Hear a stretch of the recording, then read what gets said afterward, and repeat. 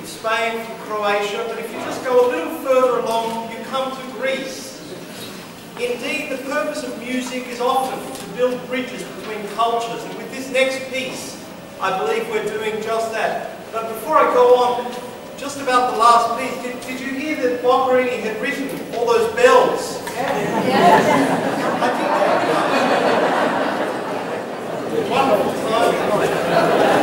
So, music is able to sometimes build some wonderful bridges between cultures, and with this, with this next piece, the Dubrovnik Symphony Orchestra has been able to secure the um, the pianistic talents of one of Greece's most distinguished pianists, um, who has introduced this music for us. This is the concerto by Theodorakis.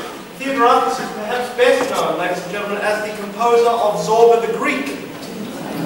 But this is one of his serious compositions composed in the 50s. Um, it was actually first performed in the country where I come from, which is Australia.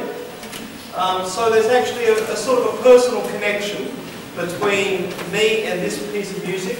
Would you join with me now in welcoming, along with Dino Mastroyiannis from Greece, we are joined by one of Dubrovnik's citizens, the, the gorgeous flute player Đive Franetović. Please welcome.